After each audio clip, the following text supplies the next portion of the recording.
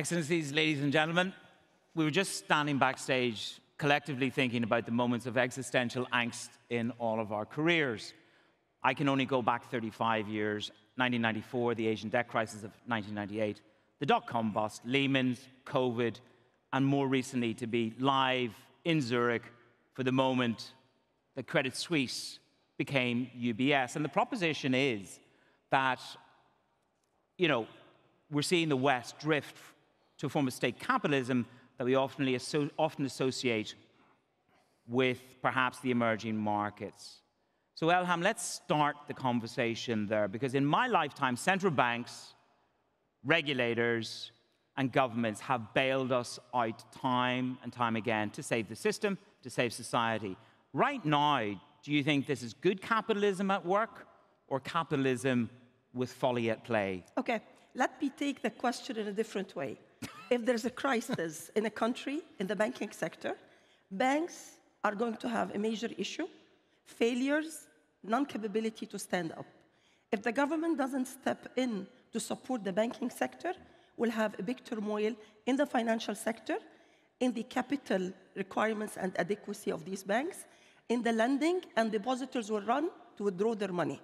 So unfortunately, whether we like it or not, the government in certain occasions, they have to step in, whether by decision making or by interfering by injecting capital or supporting and obliging banks to merge. And that I have seen in my career in the last how many years? I don't want to say them so you know my age. So you will see how it is critical that the government has to step in. And the example you said about Credit Suisse, if the situation was not quickly managed, there will be more spillovers, more problems, and I think worldwide, after Silicon Valley, First Republic, everybody will be panicking, and simple people will just go for the deposits to take it and keep it at home because he doesn't understand what's happening around him. And these are the majority of our people in the world.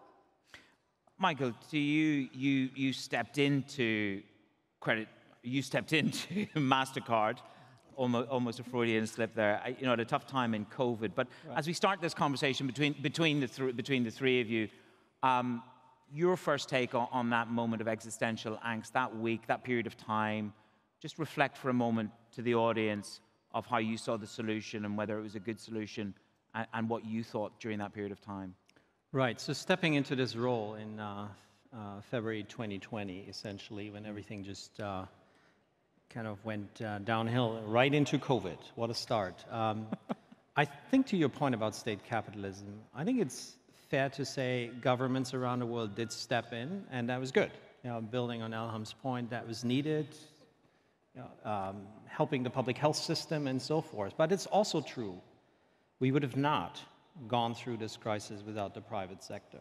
Um, I think we should talk about that side of the coin as well, but the private sector did step in. Just think about one aspect through the lens of a company like MasterCard. You know, we operate the digital economy. The digital economy kept us going while we were all locked in at home. That is resilience. You know, that is an aspect that helped. But I think there are learnings over the last three years on how resilient we need to be for the next unexpected thing that will happen you know, learnings are by sector, by country. Clearly, not every country has been hit the same way, so there's an opportunity for international coordination on policy and how different countries deal with these crises. More alignment will be a good thing. On a sectoral basis, I think what is in most economies the backbone of the economy? It's small business. Medium sized and small businesses, they have been hit the hardest yes. by this crisis. And we just have to do a better job for small business going forward because the unexpected next thing will happen for sure. I think there's another aspect on resilience around all of this is, and that is all the people that have turned on a dime and reacted to COVID, to the Russian invasion of Ukraine, to you know, stresses on the banking system and so forth. There's a leadership and a cultural element in most private sector companies as well as in the government. How are you agile enough in all of that, there's the common thread of mental well-being. People worry through these times. So if you want people to be agile, you got to give create an environment of you know physical and mental safety and focusing on well-being. That's something that I think we have overlooked.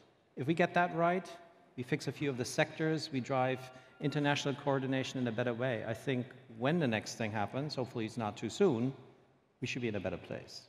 But there were great stories of resilience over the last three years for sure. I mean, what, what we've seen here is government, regulators, and central banks all at play in different moments, by the way, not just through Credit Suisse, but I think in COVID it was even, even more apparent in terms of governments and, and global response. Jahja, uh, you came up with a wonderful phrase. There was, there was government money, God's money, and then there's, you know, gold and silver. But, you know, we're, we're trying to understand moments of existential angst and, and whether governments are doing the right thing with central banks and, and, and, and saving institutions. What's your first take on what we've seen recently? Yes, thank you. If you look on the global capitalization, the main topics you are thinking is good or not, right? It's like a knife with two edges. That the one who affected, yeah, we can name it like J.P. Morgan. They took over Mutual, uh, Washington Yep. Mutual, right, and uh, Bear Stearns, and then UBS have taken over uh, Credit Suisse. Seems it's not fair for that institution, especially like JP Morgan. After they took over, and then some penalties on X companies that took over, they got the penalty. They have to bear the risk. But on the other side, how many people was saved their fund because that creation of the central bank? So means that it is really what we call it government money. Government money, government money uh, I means that the one who have the rule and control on the currencies and all the monetary policies. Because in the world you have three type of money, right? One is the basic one, is gold, silver that call God's money. Okay. And then the secondly is the government money, and third things that started with the cryptos. Crypto actually is the effort of people who think that government is not fair because they can control uh, the trade business by weakening or strengthening the value of their currency. Some government did it. That's why they created cryptocurrency. They say this is a people money. Nobody will control this unless on their blockchain's environment, right? But it's proven that in the beginning, like Bitcoin, it's go up very fast, but suddenly it's drop up again and drop. So means that even they call people's money, they even cannot control, and the impact can be damaging peoples also who believe on their stories. That is my thinking about this. But you, not but, but you live in Asia. You grew up there. Your career is there. So you've seen uh, a very different form of free market development. Um, so do you agree or disagree that the West is drifting to a form of state capitalism, or do you think that's a folly? Uh, I think for the better shape for a lot of people, I think they have to do that kind of things. As far as that are controllable and really for the sake of uh, helping a lot of uh, people, because you have uh, two uh, steps of what they call it policies, right?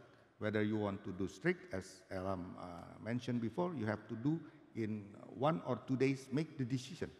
You don't have time if you really let the market uh, back to normal. So let's just then extrapolate forward because we're, we're on this panel to talk about the state of capitalism and where we are, which is actually, when I read the title, I thought this is very existential for me to deal with. I deal with markets on a daily basis. Uh, You know, how, how do I approach this? And I thought about it through the remuneration lens. Banks have been taken over. JP Morgan has uh, taken out uh, SVB. You have Noel Quinn bought, bought the SVB assets in the United Kingdom, which takes us back then to what drives deals, what drives banks, what drives uh, the motivation here. And ultimately, it is about remuneration and bonuses. Now, if the government or the central bank backstops, as they have done, the FDIC is insuring deposits, and there's been deals done to help with bad losses, etc. What does that mean for bonus and remuneration culture, which is in a free market, but it's a, a bank which is backstopped by the state? What do you think that means for bonus and culture, Elham? Um, we always say it's good that you have a short memory especially when we lose people very close to us, and we can survive. But when I look at history and I saw 2009, and before that we lived the Far East, a little bit of Latin America, and regional issues.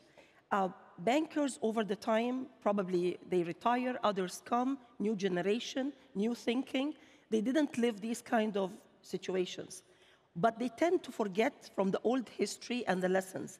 And what happens when you read, you know, in the newspapers or the social media, everybody is just, you know, looking at it has to be a big package, it has to be the bonus, it has to be how multiples of his salary, how much he can guarantee when he's retiring. It mostly, it doesn't, it's not publicly said as such, but between the lines you see it. And then at the end of the day, those people who are responsible in many occasions for certain decisions on the top level, whether they are partially shareholders or board of directors or the CEO or the top executives, most of them they will leave. Five years after that or four years, because of their decisions, things change. I agree there will be change in the fundamentals of the economic situation. Mm-hmm. And the world is moving and it's dynamic. But still, the strict regulations to penalize people on the top level is not there. They say the person retired, we ask them to leave. That's not enough.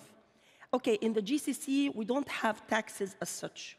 But when you look at countries in the US, Canada, Europe, the taxpayers, and we're talking about poverty, reducing the parity among people, these are the ones who are paying the real price, the middle class, whom we are trying to support when we come and sit on the bench and we say, SME, please give them a chance. Those are the people who pay from their own difficult time and difficult money to get things to go ahead.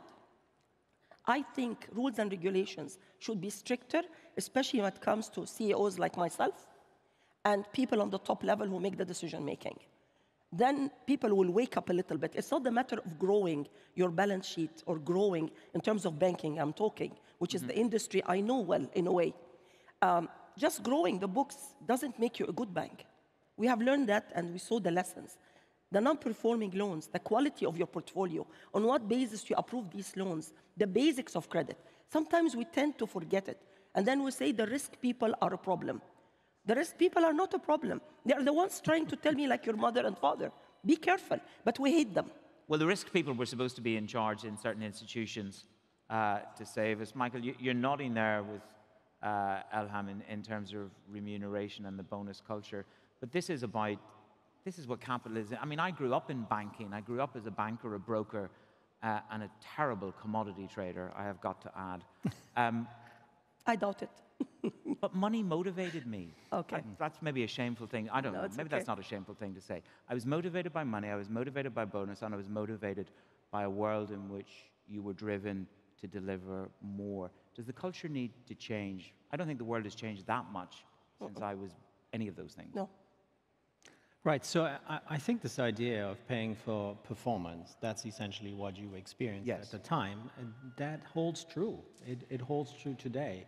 I think one just needs to be a little more nuanced around what performance means. It's not uh, performance for tomorrow, it's performance over the long run, it's commercial sustainability, and it's alignment with shareholder interests. Now, from a public policy, uh, public uh, company perspective, um, for a US listed public company, very clearly the say on pay has you know really moved into focus. There's scrutiny on these kind of alignments uh, every year in proxy season. This is analyzed left right and center and i think the cultures are going in the right direction to see is there true long-term alignment uh, of the payouts and not just what is allocated but the payouts with what the shareholders are receiving and how is generally um, you know, driving value for the company beyond its own business. The focus on how are you accounting for ESG goals and various other things are coming together, I think, to an evolved version of what you have lived in and what I have, I have lived in when I started. I shouldn't have admitted it, should I? I really shouldn't have admitted it on stage. But I think we've come a long way. But is there always more to do? Absolutely. I mean, in MasterCard, what we're trying to do is it's not just a compensation, it goes a bit further. Remuneration as a philosophy, uh, philosophy its benefits is, uh, you know, aspects of balancing it over time. It is your pension plan, it's various other things. In the end, we have to be competitive from a talent perspective. We want to have the best people. Our compensation policy, sim- your remuneration policy is geared to the best people want to be at MasterCard. So all of those elements, and I think the learnings that we've had over the year, most recently clawback policies came into focus of the SEC and so forth. It continues to evolve, and I think in the right direction. Maybe that, that, that, that evolves into a better form of capitalism, and uh, that's what I want to benchmark. But hold that thought because I want to bring Jahja into it. When we were on the phone, Jahja said, Man, you know, banks just need to be not too greedy. But tell me this and tell the audience I mean, mot- motivating your staff at how many current accounts did you say to me you had? 335 thought? 35 million. Sorry, I, I was going for thousands. 335 million bank accounts. How do you motivate? I mean, money must be an incredibly important part, you know, base and bonus to motivate people to activate those accounts. How do you manage that in, in, today's market, in today's world? Yeah, for sure that bonus uh, is very important, but we do have like clawback that if things happen, it's able to get back the money that they receive. Right? That's one thing. Second thing is that we give shares to staffs and employees, includes a board, board of directors, and then they should lock up for certain periods. In our bank, we clock, uh, lock up for three years. And once the board of directors selling the shares, they should announce to the public, right? That is some restriction for the bonus. But in, internally, we try to create it uh, teamwork, right? It seems a little bit different because I believe many banks believe on KPI and KPI related to direct bonus to this division or the brand or this uh, regions. In my bank, we try to manage it to cooperation and teamwork from the business unit and the supporting units. Because in my experience, without supporting units, supporting the business unit, you cannot do anything. That's why we really try to make a strong teamwork by having Okay. related uh, fair uh, distribution on the bonuses, not uh, too wide, uh, low and high. But Michael, this has been in part and, and part of your, your, your raison d'etre. There's been a big overhaul of remuneration within MasterCard. How much of that is your vision and how much of it perhaps is carried forward from, from your predecessor? What is your vision for remuneration? Do you believe in a fair, more equitable process of remuneration? What, what is the overhaul that you've done and what would you say the outcome has been? Yeah, so continuous journey. Um, no revolution on compensation because the company always had to operate uh, as a first-class company when it comes to um, compensation. We always competed for the best people. But I tell you one one reason thing that we have very specifically decided to do is on our ESG commitments as a company, um, which are very specific. We say we're going to drive a billion people into the financial system through financial inclusion. We're going to be uh, carbon neutral and net zero by 2040 and so forth. We have said, okay, we need to make sure that everybody who works in MasterCard feels connected to these commitments and sees the expectation that they make a difference on that. So what we have done is we've taken the goals, numeric goals, and we hard-coded them into our compensation. As a payment technology company, we're the first ones to do that. So basically, as your bonus is calculated, has have we made progress vis-a-vis those goals? Mm-hmm. And it will automatically look good for you or less good. So that is a real step forward where I think you can take very specific aspects of what you're trying to do as a company and accentuate them in compensation. That is a step forward that we haven't done in the past, and it's been, you know, discussed in the broader discourse. Is that a good thing to do? We believe it is, and I think others will come on board. Leaders lead from the top in terms of remuneration, Elham. So, what's your message, short and brief? Because I want to move on to the macro conversation in just a moment about remuneration within your organization. KPIs are a main indicator, as Jahja just mentioned, because it makes you able to judge how was the performance of every staff, whether on the business area or the support area. And that's okay. But my message was on the top, top level, when I see it in the hmm. banking industry in general, there must be other ways that we look at those levels because they are really responsible for many of the crises that happens, and then they are not blamed at all. So, it would be remiss if I have the Asian economy, the GCC economy, and the man whose cards you all use electronically uh, and, and physically, not to get a benchmark for the global economy. Michael, to you first of all, uh, lots of people are debating. I've, I've just had a conversation with Sebastian Bazin. He can't charge enough to get us into luxury hotels. Is there any cracks in the spending patterns? Are you seeing any slowdown in any of your markets, or are you just on fire and having a cracking year? Right.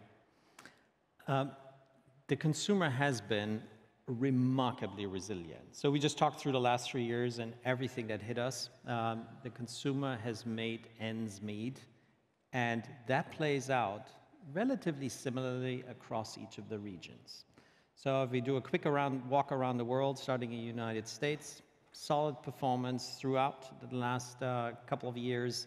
More recently, some moderation, but still the consumer has remained resilient. You look into Europe, Europe, we were all very worried about Europe looking at the winter. The mild winter came about, and uh, Europe continued to surprise. Quarter by quarter, the European consumer continues to spend. You come to the Middle East here, I mean, just walk outside, walk through Doha, and the question is answered. Uh, so that is looking pretty positive. So across the board, that is good. If you zoom out and say where there's still potential for even more post pandemic recovery momentum, you see it in Asia. Um, because clearly, yeah, the borders opened later than in the rest of the world. Travel has kicked in later. But now you start to show up in the airport, you start to see a lot of people from Asia now traveling and venturing out. So that is looking good. Is it outward transactions from Asia? How is China? Because I think everybody's fascinated to know this uneven, unequal recovery. Would you agree, unequal, uneven recovery? How would you describe China? So China um, is on a recovery path. Uneven versus what? I'm not sure what you mean with that, but what I can tell you is, you know, if, if you just look at our numbers, which are pretty good indicator of what's going on in terms of travel, for example, we are on the outbound side where Chinese are traveling the world, um, you're at 65% pre-crisis. So that leaves a lot of potential upwards, but it's probably a bigger number than we would have expected. Inbound the other way, China has only recently changed its COVID rules and so forth. We had 45%. So that looks very different than most other countries where the numbers on cross-border travel are largely around pre-crisis levels already. Yeah, yeah, great deal of stimulus still in the system. Some would say uh, savings are high from the Asia perspective, from the 335 billion accounts that you have. Uh, a snapshot for, for the room, uh, 35,000 foot view uh, in, in, terms of the economy momentum pre-COVID, where we are now. What's the risk here as we talk about capitalism? What's the risk in your economy? Yeah, I think basically uh, developing countries like Indonesia, we're able to manage the growth of economy better than in average of world average, right? The GDP growth, the inflation, we can control very well we are blessed because Indonesia have the CPO market and then also we have the mining like nickel and other things, right? So, uh, so far we haven't seen any risk of the what so-called the global capitalization because the central bank and the banking supervisory uh, body in Indonesia work together with the banking community. They try to keep on flushing the money. They are not tightening the money they tried to increase interest rate only 225 basis point, despite in US it's been 500 so Is that full marks then for Perry Warjiyo? would you give him, what would you give him a rating as, as the central banker on the system? Uh, sorry, sir. How, how would you rate your central bank's performance in this, in this current? I think it's very great because they control mon monetary, the exchange rate, they can control uh, strengthening rupiah against dollar, and inflation under control. So I think uh, eight points, I think. Eight out of 10. And we were in the green room, and Elham said, you know, man, I reflected back on a number of crises, and when women are in control, it is a different set of outcomes. So we'll leave the final word on this panel to the lady on the panel in terms of her view. GCC, it's lit up at home in the UAE, here in Qatar. I was here for the World Cup. Quick snapshot. How bullish are you? The closing lines, the lady on the panel. Okay, um, I try to be optimistic but still, you know, there are things, and I have been seeing on the stage inflation, Ukraine, the wars, opening up China, unemployment, you know, it's everywhere. People graduating, they can't find suitable jobs, um, artificial intelligence, technology. So we have bad news and good news. But when you look at the good news, it's not as much as the bad news. But I look at GCC and I look at Kuwait, for example. Yeah. Kuwait have a strong banking sector. So even with the crisis and the problems, because we have a strong also central bank. So they are always on the top of everything. And the GCC central banks, they always are in touch daily, weekly. They check on the things from different types of stuff. So they are, Silicon Valley happens, immediately you receive a call. What's happening with you? Any exposures? Let us know. So we are very much into dialogue. Uh, implementation of IFRS 9, they do it to the extreme in addition to what is required. Capital adequacy drops to 16, not, we don't like it. So we have a very strong banking sector. And we're talking about the performance. There is a drop maybe expected for 23 in Kuwait in economy. Still, the first quarter, banks have done very well, and it's expected to be done. They are concentrating on the market they know. We have many banks, yes, 10 banks, five Islamic, five conventional, but they are more into the banking sector in Kuwait. A little bit regionally, but it's not except two or three banks. So that's the part which I see very positive. The new generation, many of them are smart, they have the potential, they have the intention, and they would like to grow, but they need the support in coaching, training, taking care of them because they cannot grow by themselves. And you have to tell them from the beginning clarity, let them be aware because they're just young. We, we thought or we think they know. So coaching is very, very important. Well, we didn't solve global capitalism on the panel, but we've hopefully given you food for thought and a global snapshot. Elham, Michael, and Jahja, thank you so much. Thank you. Thank you.